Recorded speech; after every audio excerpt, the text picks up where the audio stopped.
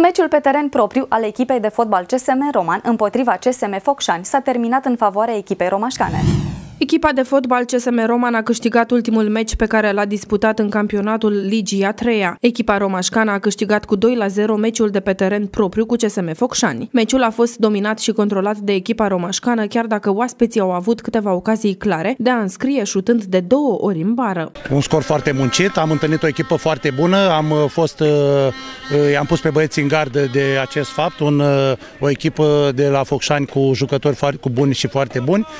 Din fericire fericire băieții uh, continuă forma bună pe care o avem, uh, au uh, gânduri mari, să spun așa, vrem să facem jocuri cât mai bune în acest sfârșit de, de tur de campionat și să ne clasăm acolo unde, unde ne-am propus locurile, locurile 1-3. Îți felicit întreaga echipă pentru efortul depus, am jucat și 10, în 10 oameni, dar cu un efort deosebit, cu, cu muncă multă și cu determinare am reușit să câștigăm uh, uh, acest meci. Pentru echipa romașcană, ambele goluri au fost marcate de Andrei Florean.